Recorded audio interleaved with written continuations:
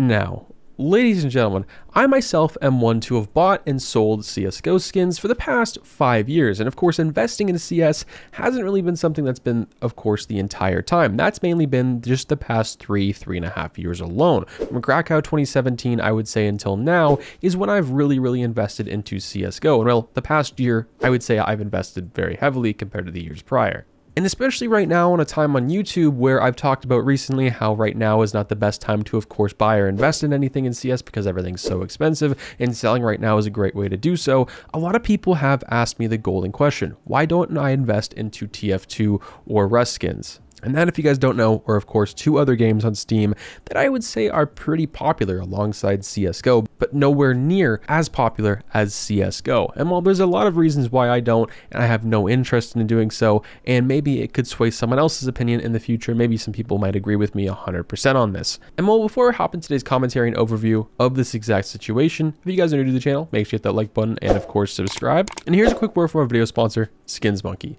Now today's video sponsor is of course Skins Monkey. Now if you guys are unfamiliar with what Skins Monkey is, they are currently the biggest growing Counter-Strike Global Offensive trading marketplace for skins, which is absolutely amazing, with great fees as well. Let's just say you guys have some skins you're really not feeling anymore. Skins Monkey is the best way to trade them. In this trade to be exact, I actually profited 18 cents, which doesn't seem like a whole lot, but considering it's a trading website, it's actually very, very good. Sign up today to get up to a $5 bonus, which is very nice. And if you've never used the website, website before? Well, you can use my code MANDO, go up to the top right, you claim that bonus. And if you guys want to deposit with real life cash or crypto, you get a 25% deposit bonus, which is very, very nice. So for the main reason I trade, buy, sell, and of course invest into CSGO is because it's my favorite game. It's like no other game. And I think most people that play CSGO and have been playing CSGO maybe as their primary game, at least the past two or three years, can understand what I mean by this, especially the OG players. It's their favorite game. That's all they care about. They've seen games like PUBG,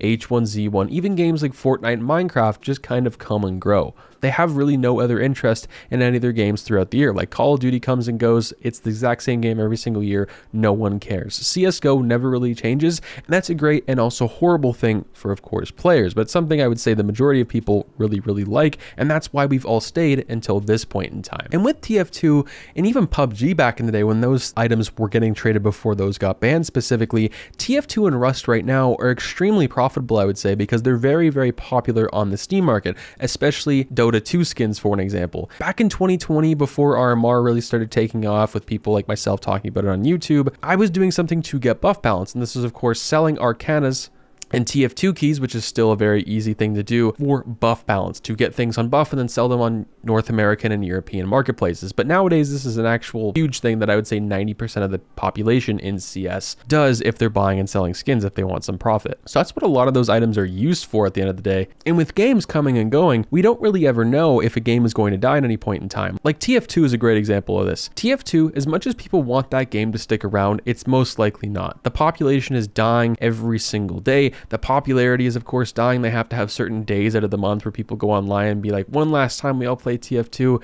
and then the game's going to be done. And with an in game marketplace like CS and a game like Dota 2, you still have items that sell for thousands of dollars, but it's obviously very niche with some of them just being a very low quantity, at least under five or six. And it's just a very, very niche market. It's not my favorite thing as well. And with knowing the market, I would have to learn an entire new market for two different games or three possibly. If I wanted to learn Dota 2, Rust, and of course TF2, that were those are three completely different marketplaces from one another. They don't correlate whatsoever. So it's a lot of my time I'd have to spend learning into new different markets. But I would say the most important thing out of all this is the reason I like CS investing so much is you get to see your profits and you get to see your investments every single day, especially when you're playing the game. And with CSGO's longevity of being over 10 years old, you can play any day. You don't really have to worry too much about your skins going down. Pretty much they're just going to go up, especially from right now, because the player base in the game is only going to grow from here and grow every single day day. Your case investments, you get to see them on the Steam market and people buy and open them every single day. And I'm pretty confident to say CS is going to stick around for a long time when you have a lot of these huge streamers